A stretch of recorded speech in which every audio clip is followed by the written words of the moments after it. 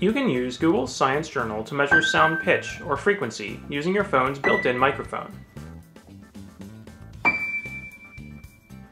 Open an experiment, then open the pitch sensor by swiping up on the gray toolbar in the middle of the screen and tapping the sensor icon. Then select the musical note icon from the bar of available sensors. If you don't see the musical note at first, you might have to scroll sideways to find it. You can now measure sound pitch in hertz, or the sound's rate of vibration. Tap the eye icon to learn more about these units. The app will display both the instantaneous reading and a graph showing how the reading changes over time. You can record data by tapping the record button, and take a single reading by tapping the snapshot button.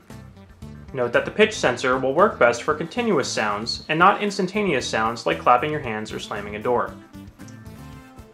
Try using the pitch sensor to do some simple experiments. For example, test your own vocal range and see how high and low you can get the pitch reading to go when humming or singing. To learn more about Google's Science Journal app and see a list of fun experiments you can do with the app, click the link at the end of this video.